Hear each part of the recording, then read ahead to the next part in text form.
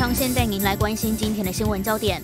农委会公布，全台首度发生的高病原水禽流感疫情往北感染到桃园，有两肉鹅厂送验检体。中共擅自决定划设四条新航路，台湾民航局长沈奇表示，这极可能影响台湾往返金门、马祖的航路，衍生飞安危险。大巨蛋移树风波，台北市长柯文哲与远雄集团董事长赵腾雄隔空交锋。巴黎查理周刊枪击案后，今天周刊出版新封面，预计印刷三百万份。更详细的新闻内容，请锁定新唐人亚太晚间八点新闻。